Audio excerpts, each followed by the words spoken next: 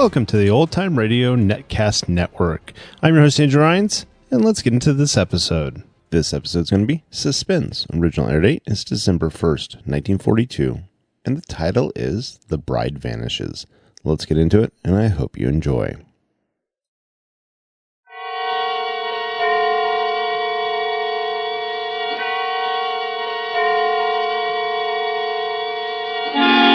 Suspense.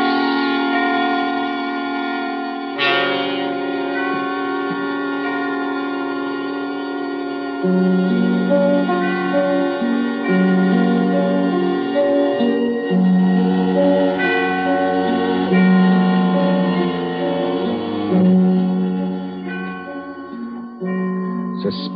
is compounded of mystery and intrigue and dangerous adventure.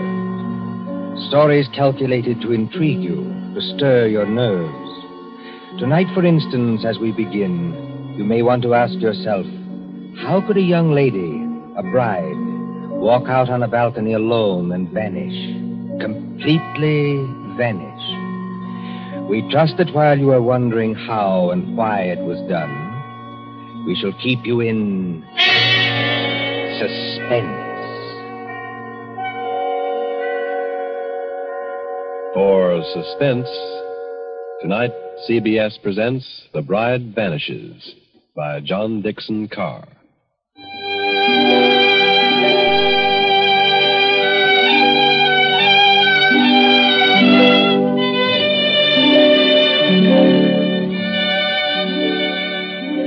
Italy in springtime.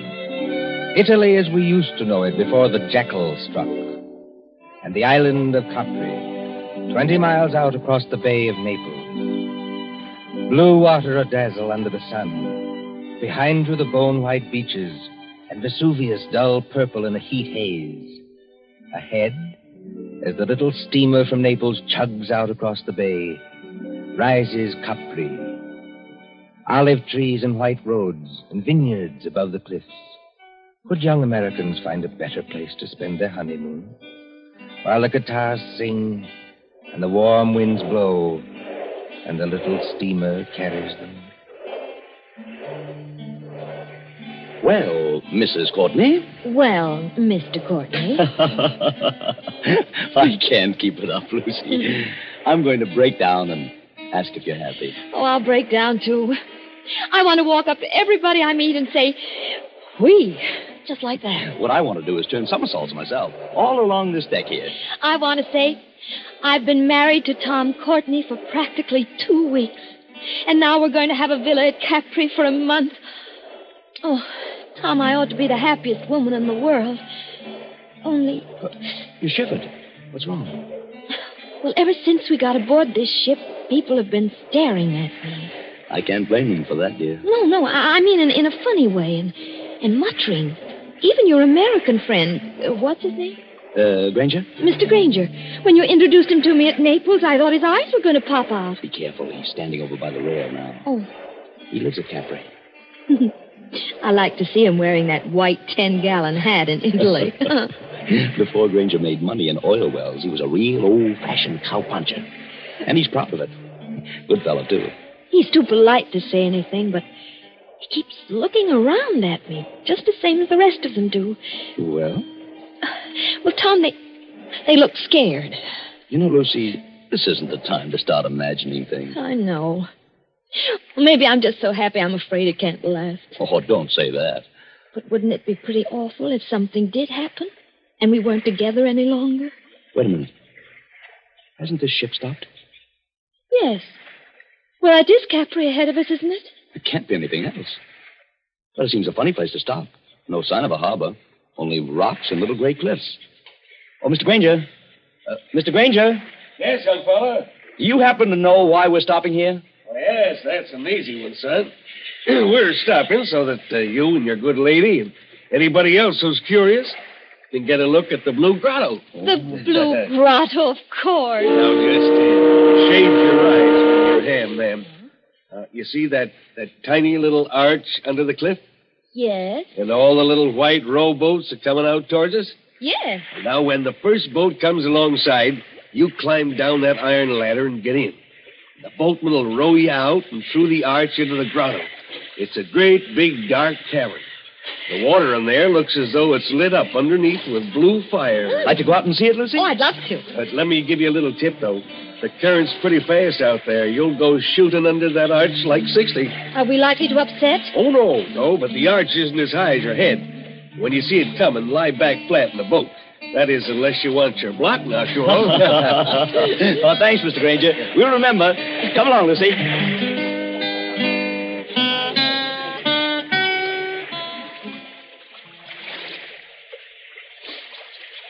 Easy on the ladder, Lucy. Don't look round yet. Oh, I'm all right, darling. And just as good a swimmer as you are. I'm in the boat now. Take one more step. Steady. Yeah, there you are. Now turn around facing the boatman and sit down here beside me. What's the matter with the boatman? Easy, man. Do you want to upset us? Sit down. You come back, yes? Come back. Well, I've never been here before in my life. Push off, man. Start rowing. The other boats are piling up behind you. You come back. Start rowing, can't you? And Ali Subito, faster. Tom, he can't take his eyes off us. I wish he'd watch out where he's rowing. You come to live at the Villa Borghese, yes? Tom, how does he know that? He's the lady. She is not dead. Dead?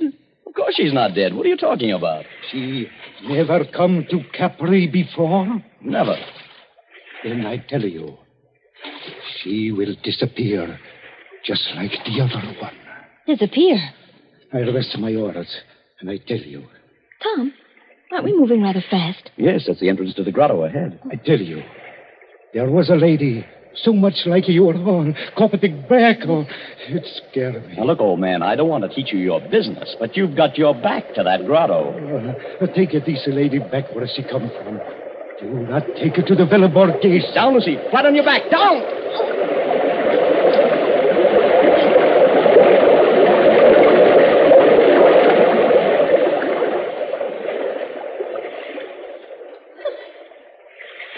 Signore, signore, I am sorry. I almost make you get hurt. You know you nearly got your own head knocked off. Excuse me, Nor. I am used to it. Now, I will roll you round the blue grotto.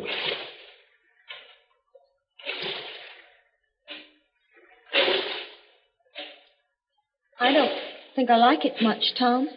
Neither do I. Dark. Except for that blue light under the water. It's transparent. You can see the fishes swimming. Uh, just a minute, boatman. This lady who disappeared from the Villa Borghese, Two, three years ago, she disappeared. you say she looked exactly like my wife? See, signore, she was a going to be married. She was trying on a, what do you call, her wedding dress. Her mother and sisters, they were in the room with her. She walked out on a balcony over the sea. You know what I mean, on a balcony over the sea? And nobody ever hear of her again. You mean she jumped over into the sea? Oh, a young girl going to be married. Kill herself. No, no, no, no. And what did happen? Oh, the beggar, I do not know. But sometimes they say you can meet her ghost in here. She float just under the water where you can see her and turn over and over. And the wedding veil is still round her face. Tom, let's get out of here. You want to go, yes? Lucy, if this fellow's stringing us along, He's not stringing us along. then somebody ought to know what this means. If we've inherited a haunted balcony where people disappear like soap bubbles, I say it's too much. Let's get back to our ship and talk to Granger. Yes, boatman, take us back.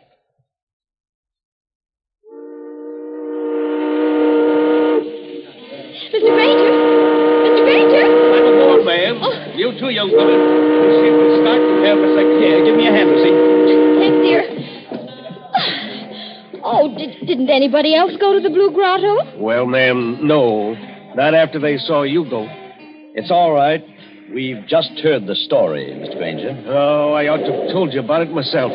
All the way out here, I've been cussing myself and thinking what a ornery old badger I am for not telling you when I first met you in Naples. The girl did vanish then. By a first rate miracle, yes. In broad daylight and within 20 feet of her mother and sisters. You don't look like a man who'd believe in miracles, Mr. Granger. Oh, I'm not, son. I'm just telling you what happened. But why is everybody so excited? Somebody must have thrown her off the balcony. Josephine Adams was all alone on a balcony 40 feet up a cliff, smooth as glass. She didn't fall. She wasn't thrown because there was no sound of a splash. And she didn't come back from the balcony because her mother and sisters were in front of the only door. Yet, within 15 seconds, 15 seconds, mind you, she just vanished. You believe that? Sure, I believe it, son. Why, it's a fact. Did you know the girl's family? Oh, very well. We've got a real English speaking colony here.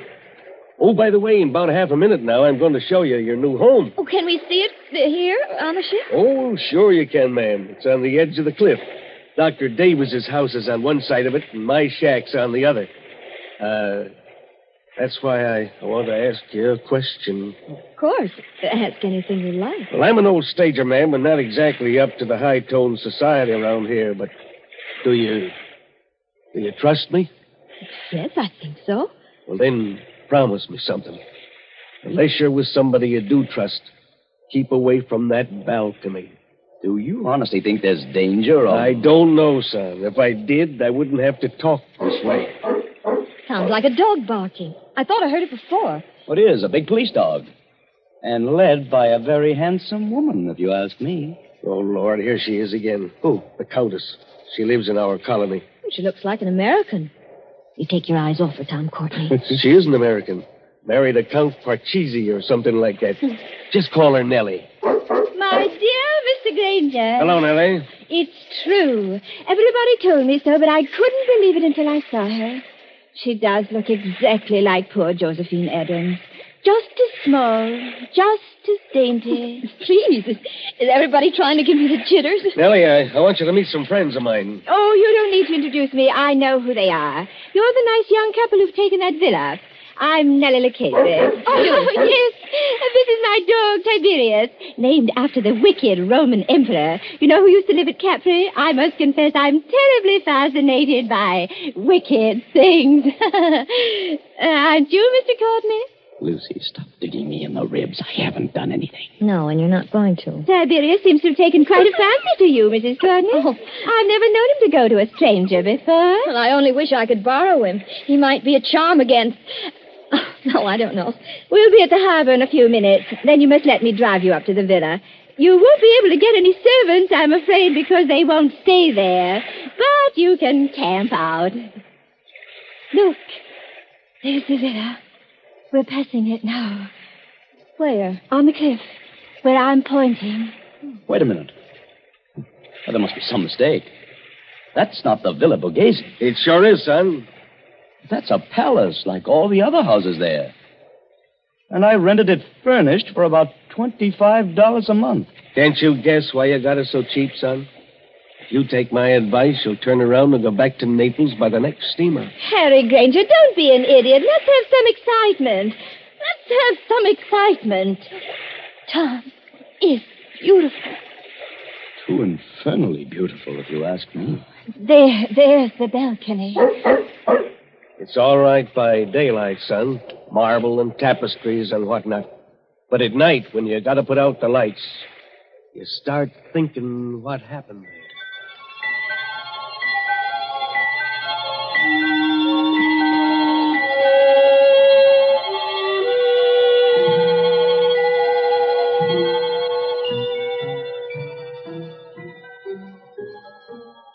The moon over Capri makes a deathly daylight. You could see to read on that balcony if anyone went out there. Frosted glass doors open out on it from a big room on the ground floor. Two determinedly calm persons and a dog sit looking at each other. Lucy, stop it. Stop what? Stop looking over at that balcony. I'm sorry, darling. Why are we sitting here anyway? There's an outer room that's much more comfortable. It's like having a toothache. A very little toothache. I may be dense, Angel, but I, I don't follow you. You put your tongue against the tooth to see if it'll hurt. You know it will hurt, but you go on doing it just the same. That's us. Maybe you're right. Oh, Tom, did you ever think we'd have a lovely house like this? Yeah, the house is all right, yes. Then they have to go and spoil everything. Our honeymoon. With this blasted Tommy rod about. Tom, you're as jittery now as I was this afternoon. Oh, even Tiberius is jittery. Yes, I guess I am. Easy, boy. Easy, easy. Well, there's whiskey on the table. they call it Vicky here. Fix yourself a drink. hmm? Oh, in a minute. Not just now. Lucy, there's nothing wrong with that balcony. Suppose you walked out there this minute. I've had a horrible longing to try it. Just because I know I shouldn't. Well, nothing could attack you. All you'd have to do would be to yell. That'd bring Mr. Granger out on his balcony like a shot. And the neighbor on the other side of us would. Well, who is on the other side, by the way? A loony doctor. A what? A specialist in brain diseases. Dr. Davis. He's English. Listen, It's somebody in the outer room. Easy, Tiberius. Easy. Tom, I'm afraid. It's all right, darling. You hold Tiberius's collar while I open the door. We don't want him to fly at anybody. We're going into the other room and stay there. Ready? Yes.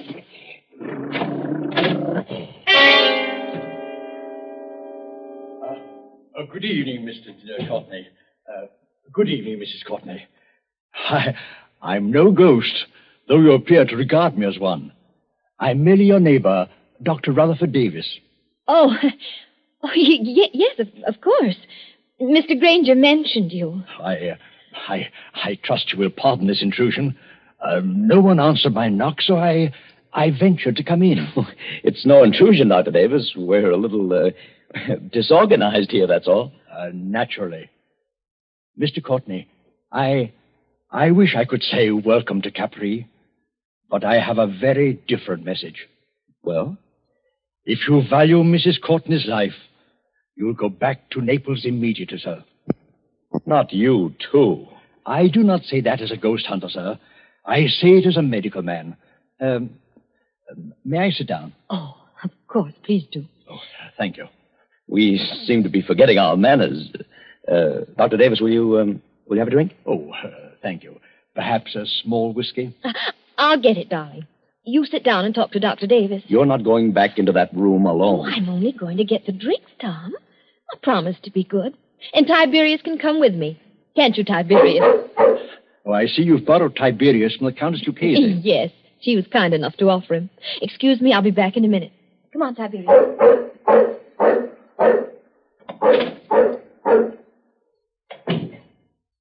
I. I hope this is all right, Doctor. No, sir. It is not all right. Your wife is in very great danger. But why? Because of that balcony? Uh, no. Because she looks exactly like the late Josephine Adams. I don't get it. Uh, Mr. Courtney, did you ever hear of paranoia? It's some kind of mental disease, isn't it? The paranoic begins by imagining that he or she is being persecuted by someone. First, he hears things. A voice in his brain whispers, You'll be killed. You'll be killed. You'll be killed. He hears it in the tick of a clock, in the rattle of a train, in the footsteps on the street. There are holes in the walls through which his enemy is always watching. Invisible speaking tubes bring him messages. There are pains in his joints and nightmares of attempts to poison him.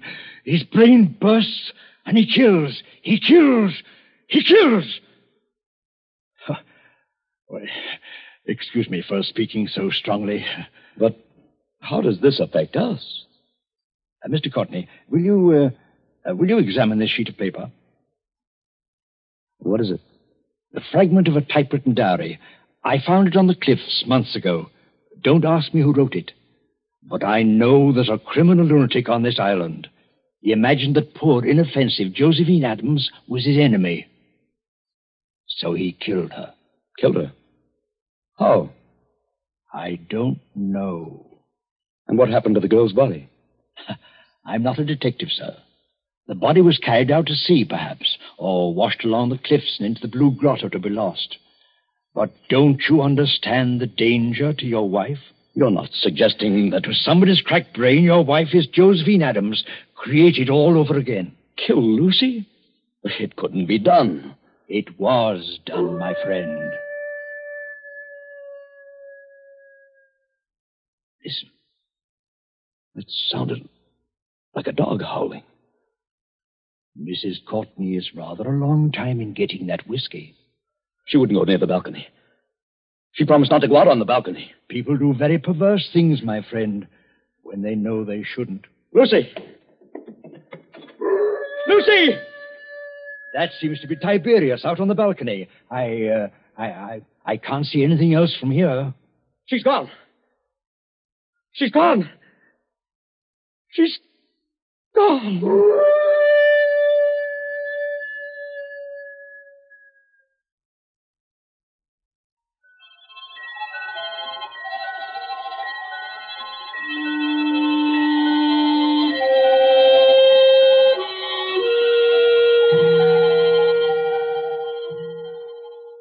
An empty balcony, a howling dog, a sea turned clear silver under the moon. Then, after the tumult and the shouting, there are other pictures. Don't you hear the noise of that motor launch? With a half demented young man at the wheel. Three other familiar figures are gathered around it. Don't you recognize the brunette prettiness of Nellie Lucchese? The white ten gallon hat of Harry Granger? And the neat, pointed beard of Dr. Davis? But what on earth is he going to do? Out here in this motorboat. I'd like to know that one myself. Listen, please. All of you. Now, take it easy, son. We're with you. What time is it? Time? Yes. What time is it? It's Half past two in the morning, going on for three. Twelve hours. Then the tide ought to be just where it was this afternoon. What's the tide got to do with it? A whole lot. Somebody set a trap and made Lucy fall off that balcony. I know it. Oh, that's absurd. If Lucy's been carried out to sea, there's nothing we can do about it. But if she's been carried along with the current and into the Blue Grotto. Blue Grotto? Uh, one moment, sir. You're not proposing to run this big launch under that arch after dark? Yes, Doctor. That's just exactly it. Go on. Do it. I'll back you up. Let's have some excitement. It'll be exciting enough, I assure you. Mr. Courtney, have you got some wild hope of recovering your wife's body? I've even got a wild hope she may be alive. Lucy's a very strong swimmer. You're acting like a nut, son. Get set, everybody. I'm going to swing around.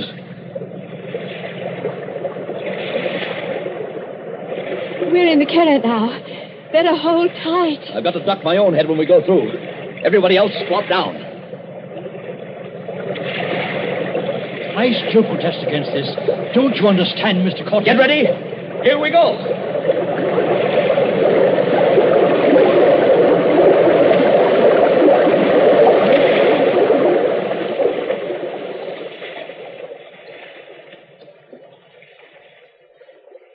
What on earth is wrong?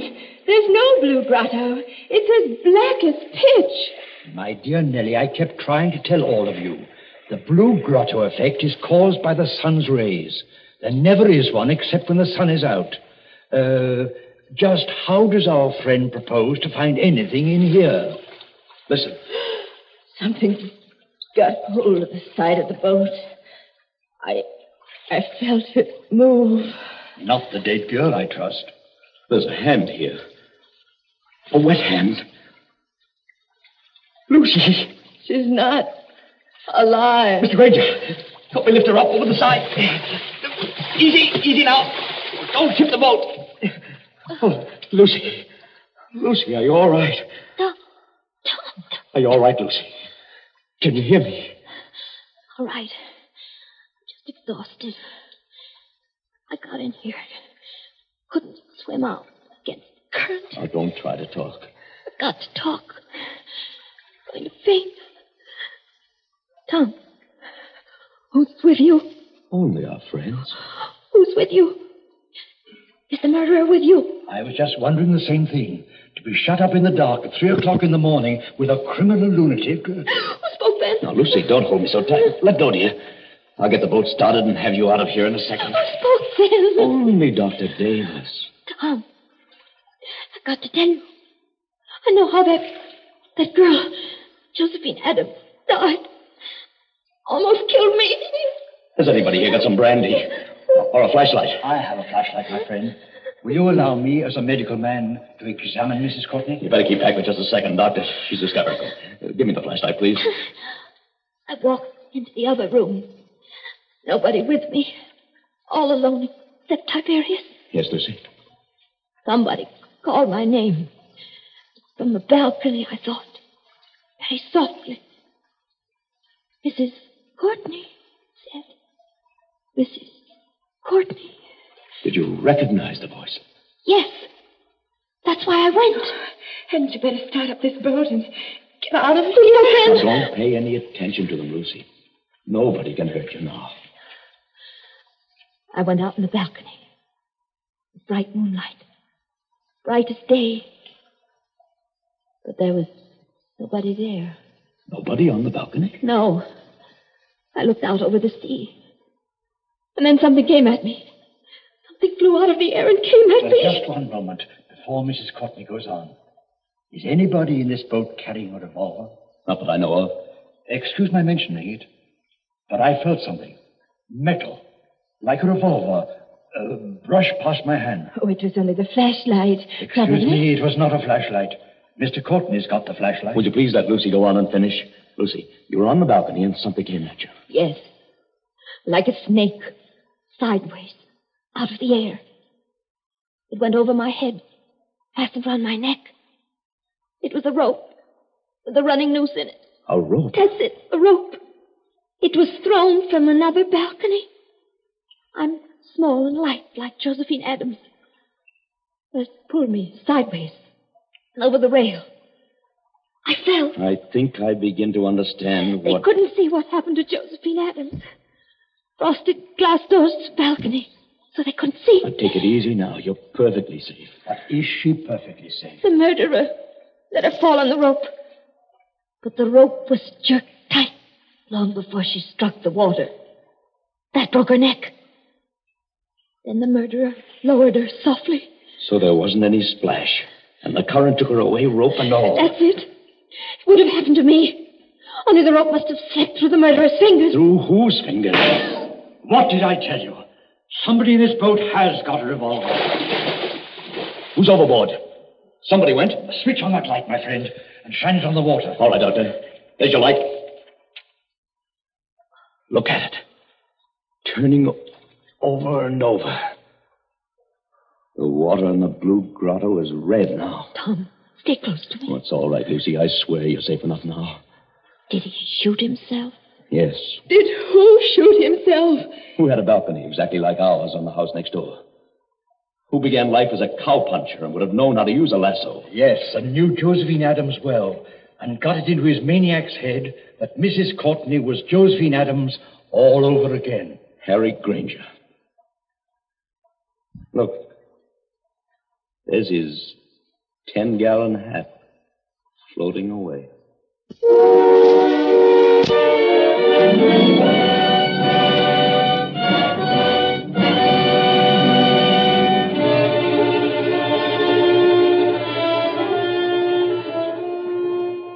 And so ends The Bride Vanishes, a story of mysterious doings in the Isle of Capri. And tonight's story of suspense.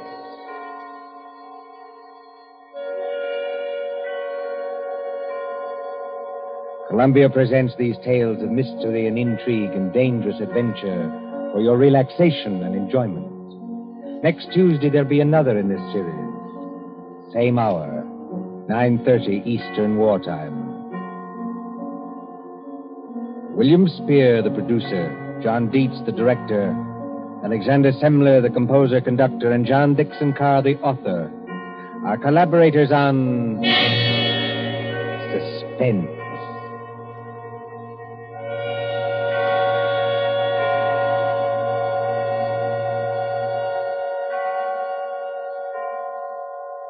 This is the Columbia Broadcasting System.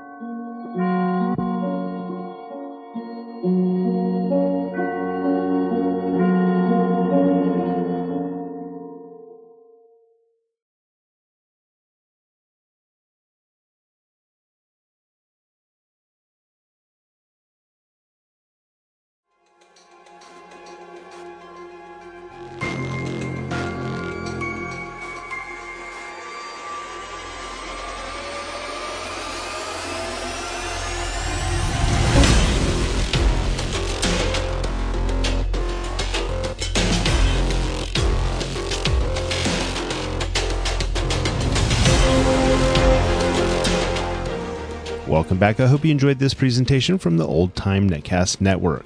For more great shows, go to otnetcast.com. Don't forget to like and rate this episode in your favorite podcatching client. Follow this show on Facebook by going to otnetcast.com forward slash Facebook. This episode is covered under the attribution non-commercial share alike copyright. For more information, go to otnetcast.com forward slash copyright. Thanks again for listening, and I hope you have a great day.